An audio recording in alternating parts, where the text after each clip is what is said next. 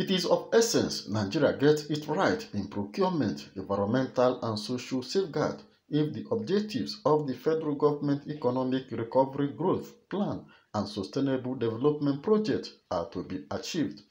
Vice President Yemi Osinbajo stated this at the launch of the Sustainable Procurement Environmental and Social Standard Enhancement Project at the headquarters of the National Universities Commission, NUC Abuja.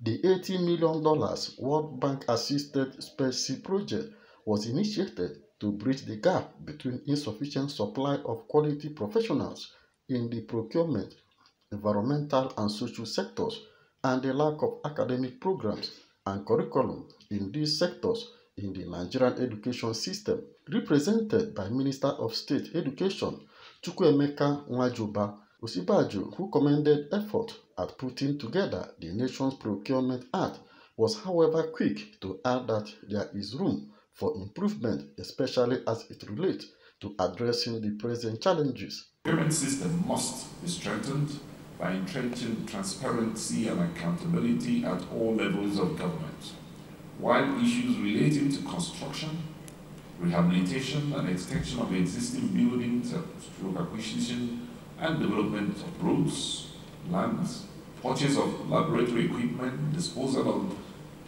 reagents and samples taken from sick people and animals, amongst others, must conform with world standards. To achieve these, there is an absolute need to build adequate technical capacity required for efficient and effective procurement.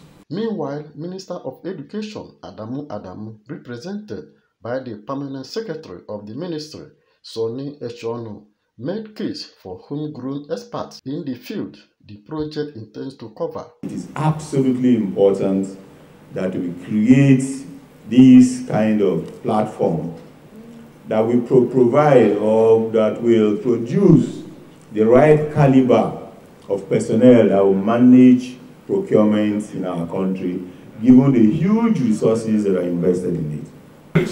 And the determination that I have witnessed from the centers in the past year is anything to go by. I'm confident that the goals of this project will be met within the available time.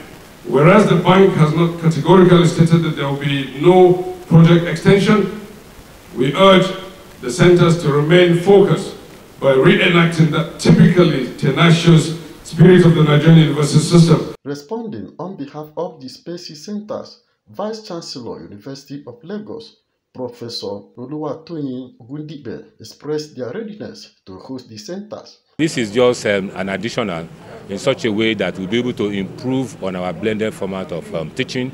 We have been having our exam through the virtual platform, lecture through the virtual platform. So this is not new to us.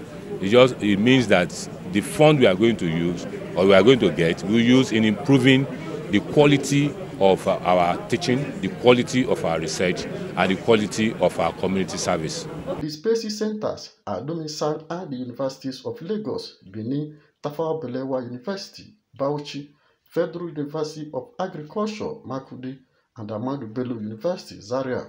CNA News.